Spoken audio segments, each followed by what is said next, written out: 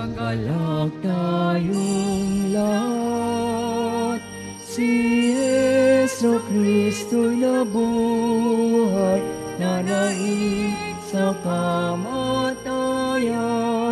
Aleluya, Aleluya. Magalak tayong lahat, si Yeso Kristo'y nabuhay, nanaig sa kamatayan. Aleluya, Aleluya. Sa ngala ng Ama at ng Anak at ng Espiritu Santo, Amen. sumainyo ang Panginoon. At sumayin niyo rin. Mga kapatid, ngayong ah, sinisimula natin ang ikalawang linggo sa muling pagkabuhay ng ating Panginoong Jesus, lunes. Actually, kahapon nagsimula. Pero sa civil calendar, ang simula ng araw natin ay lunes. Ating itaas ang lahat ng ating concern sa Kanya, lalo na yung ating mga personal na panalangin. Espesyal nating ipagdasal ang lahat ng mga may sakit at lahat ng mga namayapang kaluluwa, lalo na po ang kaluluwa ni ah, Tito Nards Latayan.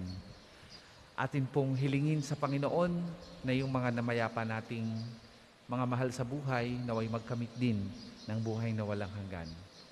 Kasama po ng panalangin natin para sa lahat ng mga may sakit, mga namayapang kaluluwa at hindi pong ipagdasal ang ah, lahat ng mga nagpa-intensyon ngayong umagang ito kasama ng inyong mga personal na intensyon at mga intensyon ng sumusubaybay sa atin sa pamagitan ng ating live streaming. Pagsisihan natin ang ating mga nagawang pagkukulang. Inaamin ko Sa makapangyarihang Diyos at, sa inyo mga kapatid, na lubha akong nagkasala sa isip, sa salita at sa gawa, at sa aking pagkukulang. Kaya isinasamo ko sa mahal na Birheng Maria, sa lahat ng mga anghel at mga banal, at sa inyo mga kapatid, na ako'y panalangin sa Panginoong ating Diyos. Kawan tayo ng makapangyarihang Diyos, patawarin tayo sa ating mga kasalanan at patnubayan tayo sa buhay na walang hanggan. Amen.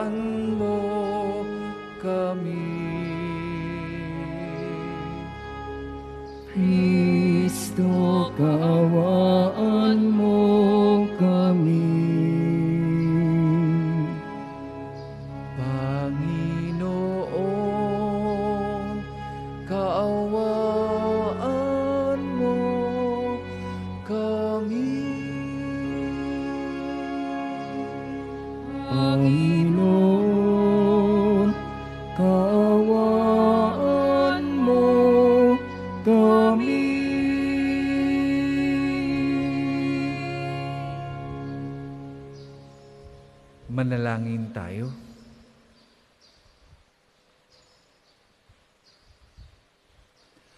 Ama naming makapangyarihan, sa pagdiriwang naming ito ng Pasko ng pagkabuhay ng anak mo, pinag-alab mo ang pananalig namin sa iyo. Ang kagandahang loob mo sa amin ay lalo mo pang pinagpag-ibayuhin upang maisaloob na mabuti ng sa mabuti ng lahat ang kadalisayang dulot ng binyag ang Espiritu Santo mo sa iyong mga anak ang dugong dumanak upang kami maligtas sa pamamagitan ng Kristo kasama ng Espiritu Santo magpasawalang hanggan. Amen.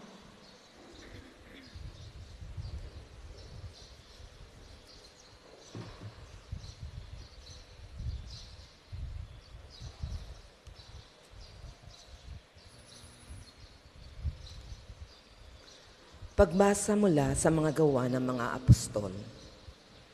Noong mga araw na iyon, nang mapalaya na sina Pedro at Juan, sila'y nagpunta sa mga kasamahan nila at ibinalita ang sinabi ng mga punong saserdote at ng matatanda ng bayan.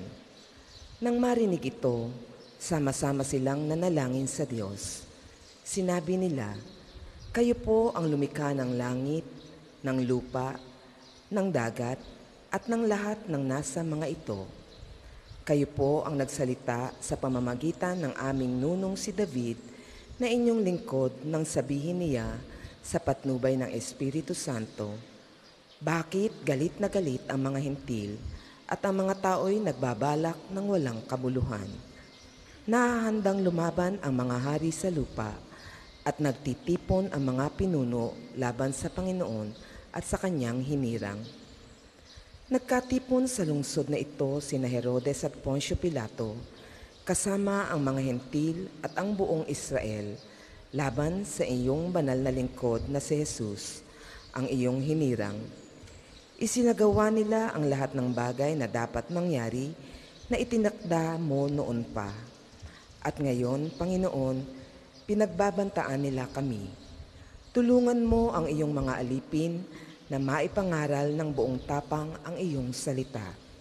Iunat mo ang iyong kamay upang magpagaling at loobin mo na sa pangalan ng iyong banal na lingkod na si Jesus ay makagawa kami ng mga kababalaghan. Pagkatapos nilang manalangin, nayanig ang pinagtitipunan nila. Silang lahat ay napuspos ng Espiritu Santo at buong tapang na nangaral ng salita ng Diyos. Ang salita ng Diyos. Salamat sa Diyos. Salmong tugunan. Mapalad ang may tiwala sa Panginoong dakila. Mapalad ang may tiwala sa Panginoong dakila. Bakit nagbabalak itong mga bansa na sila'y mag-alsa? Anong kabuluhan ng lahat ng itong binabalak nila? Mga hari nila ay naghihimagsik at nagkakaisa na ang Panginoon at ang kanyang hirang ay bakahin nila. Pagsikapan nating tayo ay lumaya sa pagkaalipin at ating igupo ang pamahalaang sumakop sa atin. Mapalad ang may tiwala sa Panginoong dakila. Sa trono ng langit, nagtawa ang poon ng iyo'y sabihin, at sila'y kinutya sa kanilang balak na mahirap gawin. Sa galit ng Diyos, sila'y buong bagsik na pinag-usapan. Sa tindi ng puot, yaong mga hari ay nahintakutan. At tungkol sa akin ay kanyang sinabi, Sa bundok kong mahal, sa tutok ng Siyon, aking iniluluklok ang haring marangal. Mapalad ang may tiwala sa Panginoong dakila. Ganito ang sabi ng lingkod ng poon na hari ng Siyon. Aking ihahayag ang pinag-utos nitong Panginoon. Ikaw ang anak kong pinakamamahal at magmula ngayon, ako namang ito ang giliw mong ama sa habang panahon. Hingin mo sa akin ang lahat ng bansa at ibibigay ko. Anumang narito sa buong daigdig ay magiging iyo Pamahalaan mo ng kamay na bakal ang lahat ng ito, tulad ng palayok, durugin mo sila sa mga kamay mo. Mapalad ang may tiwala sa Panginoong dakila. Magsitayo po ang lahat.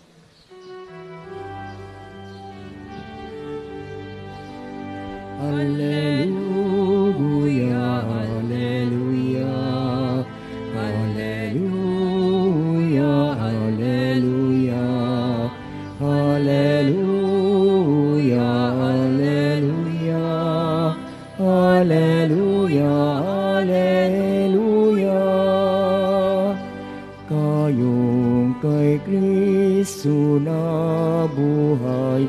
sa langit na kalaan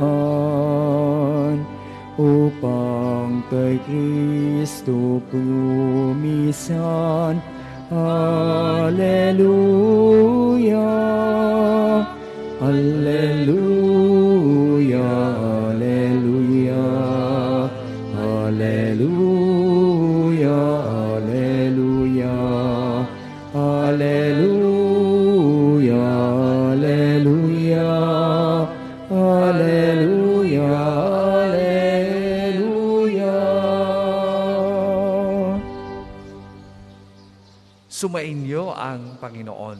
sumainyo rin. Ang mabuting balita ng Panginoon ayon kay San Juan. Papuri sa iyo, Panginoon. May isang pariseyo at pinuno ng mga Hudyo na nagngangalang Nicodemo. Isang rabi, isang gabi, siya'y nagsadya kay Jesus. Rabi, sabi niya, nalalaman po namin kayo'y isang gurong mula sa Diyos sapagkat walang makakagawa ng mga kababalaghang ginagawa ninyo malibang sumasa kanya ang Diyos. Sumagot si Jesus, Sinasabi ko sa inyo, maliban na ipinanganak na muli ang isang tao, hindi siya paghaharian ng Diyos. Paano pong maipanganganak na muli ang isang tao kung matanda na siya? Makakapasok pa ba siya sa tiyan ng kanyang ina para ipanganak na muli? Tanong ni Nicodemo. Sinasabi ko sa inyo, ani Jesus, maliban na ang tao ipanganak sa tubig at sa espiritu, hindi siya paghaharian ng Diyos. Ang ipinanganak sa laman ay laman at ang ipinanganak sa espiritu ay espiritu. Huwag kayong magtaka sa sinabi ko sa inyo. Lahat ay kailangang ipanganak na muli. Umihip ang hangin kung saan ibig at naririnig ninyo ang tugon nito, ang ugong nito. Ngunit hindi ninyo alam kung saan nanggagaling at kung saan naparoroon. Gayon din ang bawat ipinanganak sa Espiritu. Mga kapatid, ang mabuting balita ng Panginoon. Pinupuri ka namin, Panginoong Heso Kristo.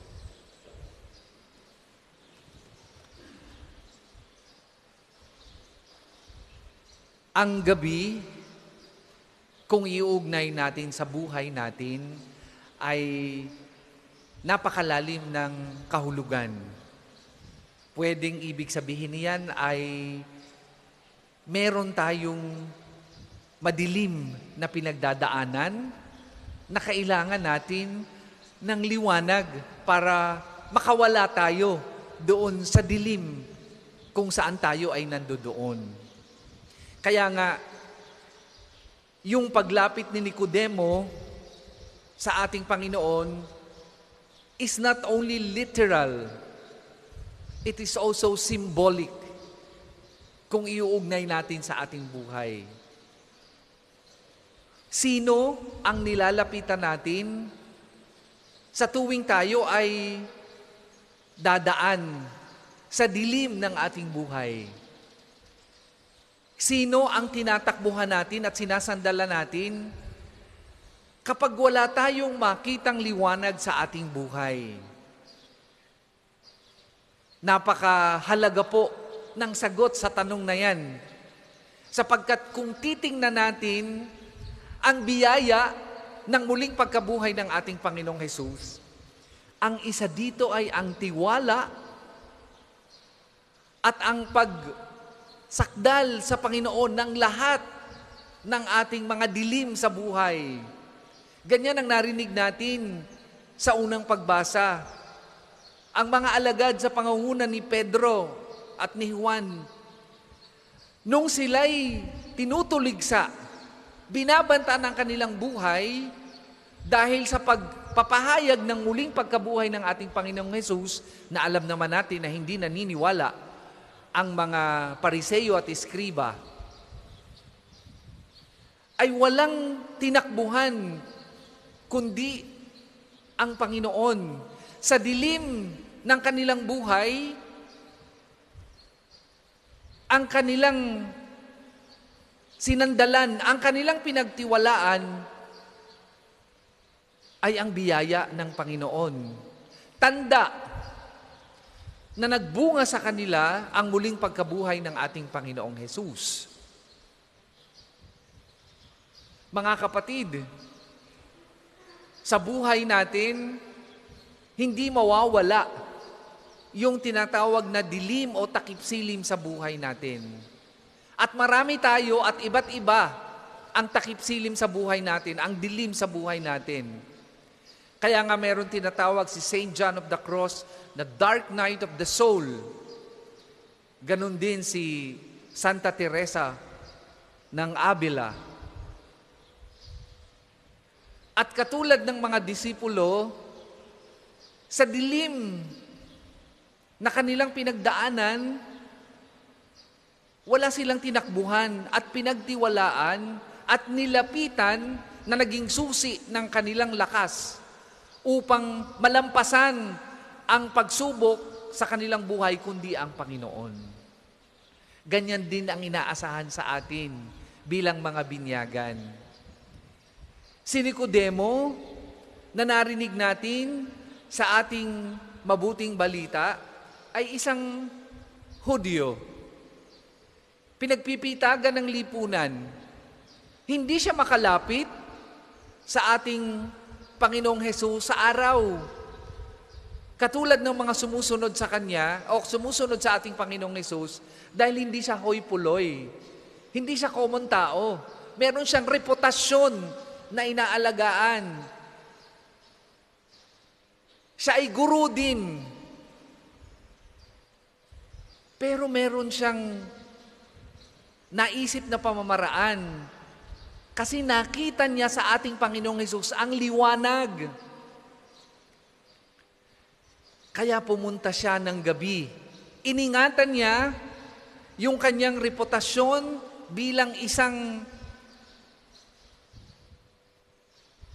pinagpipitagan sa lipunan, but at the same time, hindi niya diniprive ang kanyang sarili ng crisis. Bunga ng pagkatuklas niya at pagkakita ng liwanag sa ating Panginoong Yesus. Ngayong panahon na ito, mga kapatid, baka tayo ay nasa dilim din ng ating buhay. Inaakay tayo ng muling pagkabuhay ng ating Panginoong Yesus upang siya ay maging liwanag natin. Huwag na tayong magdalawang isip. Magtiwala tayo, tumakbo tayo sa Panginoon. Huwag nating sandigan ang ating sariling lakas. Huwag nating sandigan lamang yung mga nalalapitan natin sa oras na tayo ay nasa kadiliman ng ating buhay. Higit nating sandigan at pagtiwalaan ang Panginoong muling nabuhay na siyang magbibigay sa atin ng lakas upang kayaning dalhin at pasanin ang bigat sa ating buhay. Siyang aakay patungo sa liwanag sa kadiliman ng ating buhay. Ang ating Panginoong Hesus na muling nabuhay. Para sa mga maghahandog ng sobre, pakihulog na lamang po sa buslo.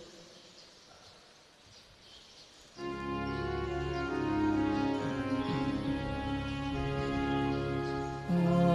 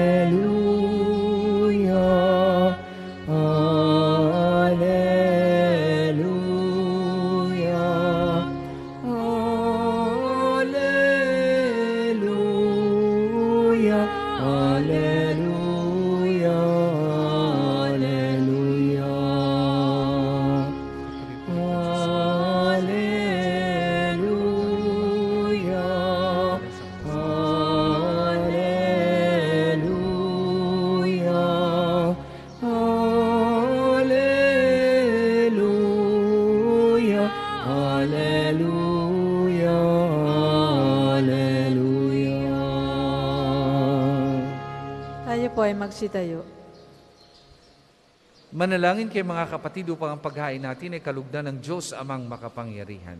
Tanggapin nawa ng Panginoon itong paghahain sa iyong mga kamay, sa kapurihan niya at karangalan, sa ating kapakinabangan, at sa buong sambayanan niyang banal. Ama naming lumikha, tanggapin mo ang mga alay ng iyong sambayan ng natutuwa. Ang pagkabuhay ng iyong anak na niloob mong aming ik- ikatuwa ngayon ay papagbungahin mo ng galak na, na, na manatili sa amin habang panahon sa pamamagitan niya kasama ng Espiritu Santo magpasawalang hanggan. Amen. Sumainyo ang Panginoon. At sumayin niyo rin. Itaas sa Diyos ang inyong puso at diwa. Itinaas na namin sa Panginoon. Pasalamatan natin ang Panginoong ating Diyos. Marapat na siya ay pasalamatan. Ama naming makapangyarihan, tunay ngang marapat na ikaw ay aming pasalamatan. Ngayong ipinagdiriwang ang paghahain ng Mesiyas, ang maamong tupan na tumubo sa aming lahat. Sa paghahain ng sariling buhay at sa pagkabuhay ng anak mong mahal, nabuksan ganap ang iyong tahanan at kaming pinaghaharian niya'y naging kasambahay. Sa pagkamatay niya sa krus, nalupig ang kamatayan. Sa kanyang pagkabuhay, naging buhay siya ng tanan. Kaya kay isa ng mga anghel na nagsisiawit ng papuri sa iyo, nang walang humpay sa kalangitan, kami nagbubunyi sa iyong kadakilaan. Santo, Santo, Panginoong Diyos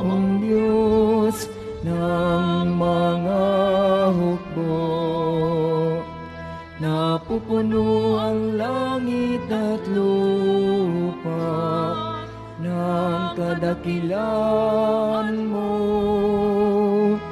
O sana sa kaitaasan, pinagpalang na paririto sa ngala ng Panginoon. O sana sa kaitaasan, o sana sa kaitaasan. Kung hindi kayang lumuhod, manatili pong nakatayo ng may paggalang. Ama naming banal, ikaw ang bukal ng tanang kabanalan, kaya't sa magitan na iyong Espiritu gawin mong banal ang mga kaloob na ito, upang para sa amin maging katawan at dugo ng aming Panginoong Heso Kristo. Bago niya pinagtiis ang pusang loob na maging handog, hinawakan niyang tinapay, pinasalamatan kanya. Pinaghati-hati niya yon iniabot sa kanyang mga alagad at sinabi, Tanggapin ninyong lahat ito at kanin. Ito ang aking katawan na ihahandog para sa inyo.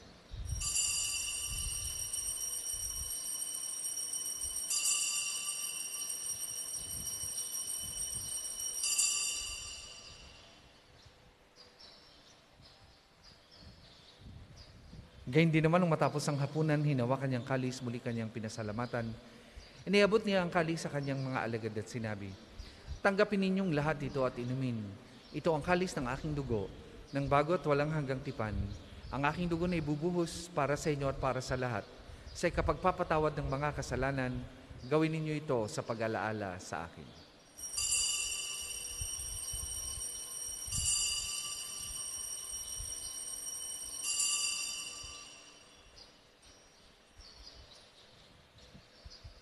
Ipagbunyi natin ang misteryo ng pananampalataya. Pus mo at pagkabuhay, kami natubos mong tunay. Pong Jesus, naming mahal, iligtas mo kaming tanang. Ngayon at magpakailanman. Ama, ginagawa namin yan ng pag-alaala sa pagkamatay at muling pagkabuhay ng iyong anak. Kaya tiniaalay namin sa iyong tinapay na nagbibigay buhay at ang kalis sa nagkakaloob ng kaligtasan. Kami nagpapasalamat dahil kami iyong minarapat na tumayo sa harap mo para maglingkod sa iyo. Isinasamo namin kami magsasalo-salo sa katawan at dugo ni Kristo ay mabuklod sa pagkakaisa sa magitan ng Espiritu Santo. Amalingapin mo yung simbahang laganap sa buong daigdig. Puspusin mo kami sa pag-ibig kay San Francisco na aming Papa at ni Gilbert na aming obispo at ng Tanang Kaparian. Alalahanin mo rin ang mga kapatid naming nahinlay nang may pag-asang sila'y muling mabubuhay, gayon din ang lahat ng mga pumanaw. Kaawaan mo sila at patuloyin sa iyong kaliwanagan. Kaawaan mo at pagindapatin kaming lahat na makasalo sa iyong buhay na walang wakas. Kaisa ng mahal na Birheng Maria na ina ng Diyos, kaisa ng mga apostol ni San Jose na kanyang kalinis-linis ang esposo, kaisa ng mga apostol at ng lahat ng mga banal na namuhay dito sa daigdig ng kalugod-lugod sa iyo. May pagdiwang naman namin ang pagpupuri sa ikararangal mo sa magitan ng iyong anak na aming Panginoong Heso Kristo. Sa pamamagitan ni Kristo kasama niya at sa Kanya, ang lahat ng parangal at papuri ay sa iyo. Diyos amang makapangyarihan, kasama ng Espiritu Santo, magpasawalang hanggan. Amen, Amen, Amen.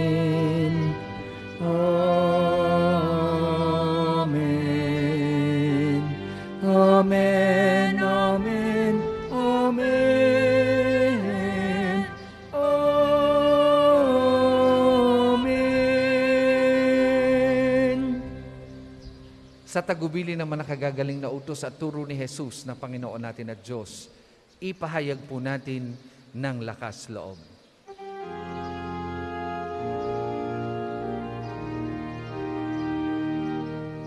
Ama namin, sumasalangit ka.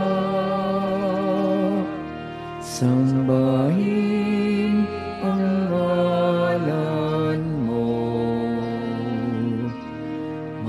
Mapasa amin ang kaharian mo. Sundin ang loob mo dito sa lupa para nang sa langit. Bigyan mo kami ngayon ng aming kakanin sa araw-araw at patawarin mo kami sa aming mga sala para ng pagpapatawad namin. Sa nagkakasala sa amin. At huwag mo kaming ipahintulot sa tukso at iadya mo kami sa lahat ng masama. Hinihiling namin kami adya sa lahat ng masama. Pagkalooban ng kapayapaan araw-araw, iligtas sa kasalanan ni Teleo sa lahat ng kapahamakan. Samantalang aming pinananabikan ang dakilang araw ng pagpapahayag ng tagapagligtas naming si Heso Kristo. sapagkat iyo ang kaharian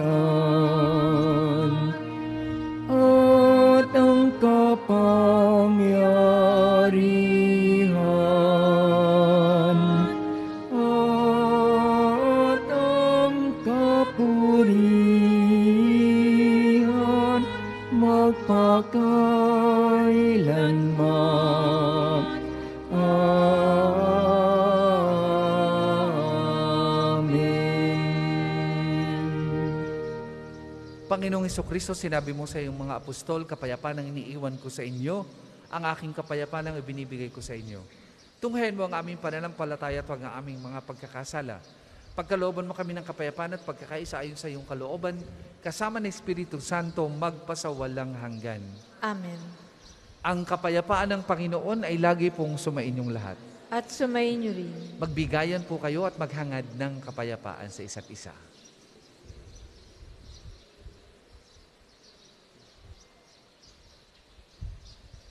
Kordero ng Diyos na nag-aalis ng mga kasalanan ng sanlibutan, maawa ka sa amin.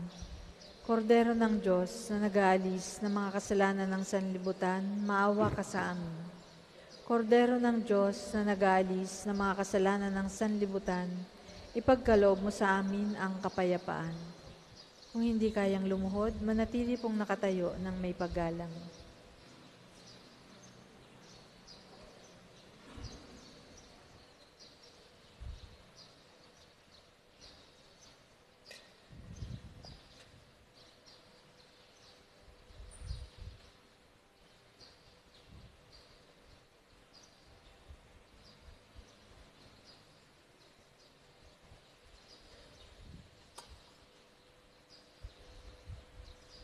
Mga kapatid, ito ang kordero ng Diyos.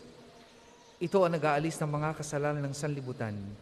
Mapapalad ang mga inaanyayahan sa kanyang banal na piging. Panginoon, hindi ako karapat-dapat na magpatuloy sa iyo, ngunit sa isang salita mo lamang ay gagaling na ako.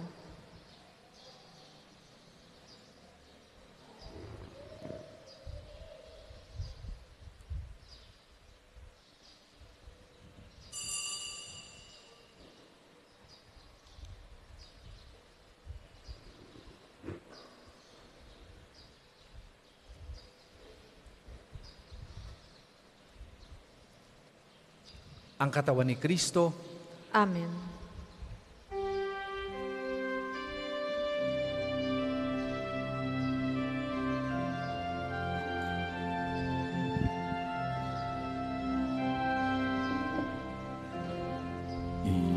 Ito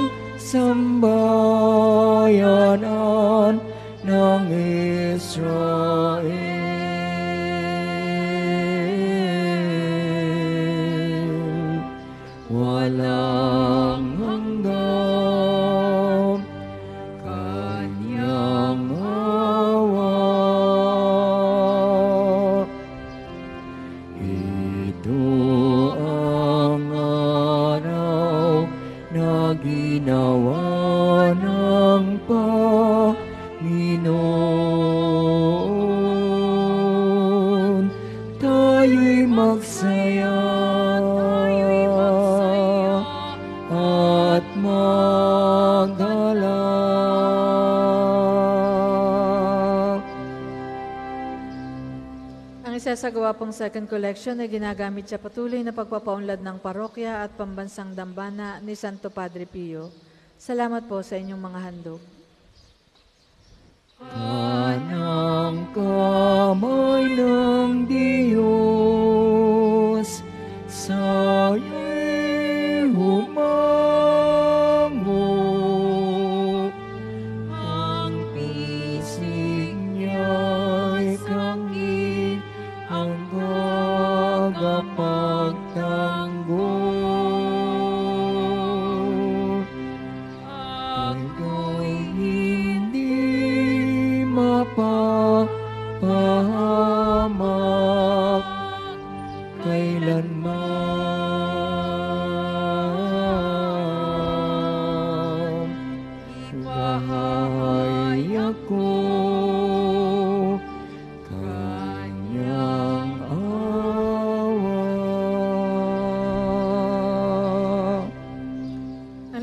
Ay magsitayo. Manalangin tayo. Ama naming mapagmahal, ipagkaloob mo ang aming pakikinabang sa banal na piging ng Pasko ng Pagkabuhay ay patuloy na umiral sa aming kalooban sa pamamagitan ng Iso Kristo kasama ng Espiritu Santo magpasawalang hanggan. Amen. Panalangin ng pagtitiwala kay Santo Padre Pio, tayo pong lahat. Padre Pio, taga Pietrelcina, Mongheng Banal, Pintakasing Santo ng Milenyong Kasalukuyan, gabay namin sa pagtahak sa landasing makalangit, takbuhan sa pangangailangan, huwara ng pagtitiis. Sa iyo namin inilalapit aming mga kagipitan, sa iyo po ibinibilin kalusugan at kabuhayan.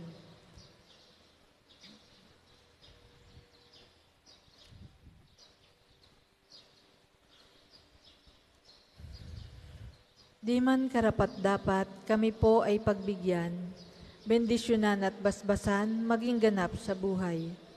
Lumayo nawa kami umiwas sa kasalanan, lumapit lagi sa Diyos, maging matatag at matibay. Sa mabuting balita ng pagliligtas, turuan mo kami nawa. Sa tuwina ay makinig, magnilay at sumampalataya. Amin pong pakiusap itong mga kahilingan. Puso ay nagsisisi, nagtitikang taimtiman. Di na muling magkasala, sunod lagi sa Diyos Amang, kaysa ng Espiritu at ni Jesus na tagapamagitan. Amen. Tayo po muna ay magsiupo para sa mga patalastas. Una sa inyong pagdalaw sa pambansang dambana, mangyaring pakaingatan ng inyong mga personal na gamit. Hangad namin ang isang matiwasay at maayos na pagbisita sa National Shrine. Ikalawa, mga kapiyo, kung inyo pong mapapansin ay sira na at kailangan ng ipagawa ang extension area sa pagitan ng main church at Divine Mercy Sanctuary. Muli po kaming nananawagan sa mga may mabubuting puso na nagnanais maging bahagi ng pagawaing ito. Mangyaring makipag-ugnayan po kayo sa opisina ng parokya o sa pamisahan para sa inyong mga tulong at donasyon. Ikatlo, isang mahalagang paalaala. Kaugnay po ng isinagawang blessing at grand opening ng ating Kapilyo Osteria, ay mahigpit tayong pinaalalahanan sa ating panawagang Clego, Clean as you go, sa lahat ng lugar sa loob ng pambansang dambana, lalo tigit sa Osteria. Ipinaalam din po sa lahat na gamit ang ating main arc entrance, tayo ay may mga malalaking free parking dito sa loob ng pambansang dambana. Ikalima, ngayon pong darating na linggo ay ikadalawamputatlo ng buwan, araw ng pagpagpagaling sa pamamagitan ni Santo Padre Pio. Ang mga healing masses po at healing liturgy na may pagagawad ng langis ay sa ganap na ikasyam ng umaga at ikalima ng hapon. Wala pong misa ng ikaapat ng hapon at ikaanim ng gabi. Ikalima, mga kapiyo, bahagi ng pagdiriwang ng karawan ni Padre Pio ngayong ikadalawamput lima ng Mayo, tayo ay magkakaroon ng car raffle dito sa pambansang Dambana. Ito ay fundraising program upang matulungan ang ating mga scholar ni Pio. Mari kayong makabili ng ticket sa pamisahan, sa HR office, o sa mga naka-station sa paligid ng simbahan sa halagang limandaang piso lamang. Ang susunod pong misa ay sa ganap na ikasampu ng umaga. Maraming salamat po at mangyaring panatilihin natin ang kalinisan, katahimikan at diwa ng pananalangin sa loob at labas ng ating mga simbahan. Magsitayo na po ang lahat para sa pagbabasbas ng religious articles. Bukod po sa financial assistance na ating ipinagkakaloob sa mga lumalapit sa ating mga indigents o nangangailangan ng tulong, whether medical or uh, material na pangangailangan, tayo rin po ay may tinatawag na concrete charity work bilang isang pambasang dambana. Yan po ang scholar ni Pio. We have 23 scholars to represent the day of Padre Pio every 23rd, ano po. At nakapagpag-graduate na po tayo ng limang scholar ni Pio. Kasama po dyan ay yung mga gumraduate nung taon, apat po yun. At gusto nating ipagpatuloy ito bilang isang napakagandang gawain, concrete charity work ng Pambansang Dambana. Sama-sama po nating tulungan ang mga batang ito na abutin ang kanilang pangarap. Kaugnay po niyan, para po doon sa mga bumili ng tickets, nagsisimula na po kaming kolektahin ng inyong mga payments. Pwede na po kayong ah, mag-return ng inyong mga tickets with corresponding payment. 500 pesos per ticket po. Ah, at may chance kayong manalo ng ah, Toyota Vios. Second prize po ay motorcycle and ah, ah, ang third prize po ay ah, mountain bike and ah, consolation prizes. Marami pong salamat. Makikitaas po ng inyong mga pabibindisyonan. O Panginoong Diyos, Ikaw ang bukal ng lahat ng pagpapala at biyaya. Ibuhos mo ang iyong bendisyon sa mga gamit na ito sa pananalangin, mga rosaryo, imahin, dasalan, na nagpapala na iyong kabutihan, kabanalan at pagmamahal sa amin. Upang lahat na dumulog at magdasal gamit ang mga ito ay magtamo ng iyong awat biyaya. Lobin mong tularan niya ang kabanalan at aral ng Panginoon at ng mga santo magpasawalang hanggan. Amen. Ama namin sumasalangit ka, sambahin ng ngalan mo. Mapasa amin ang kaharian mo. Sundin ang loob mo dito sa lupa para nang sa langit.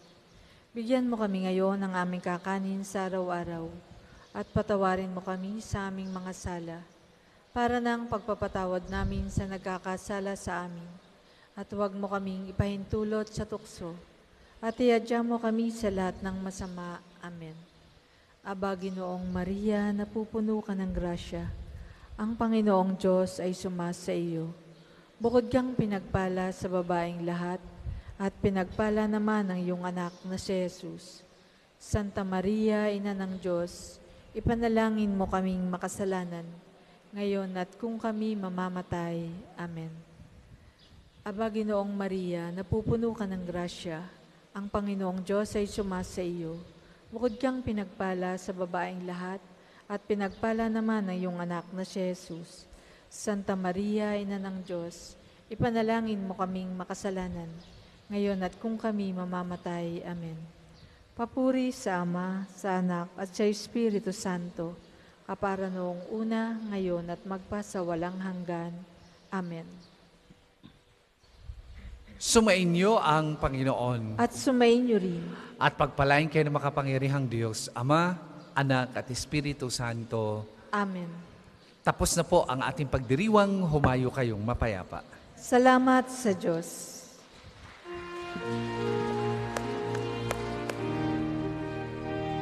Alleluia, narito na ang araw na dulot ng Diyos. Nabuhay na si Kristong ating Hari at Manunod.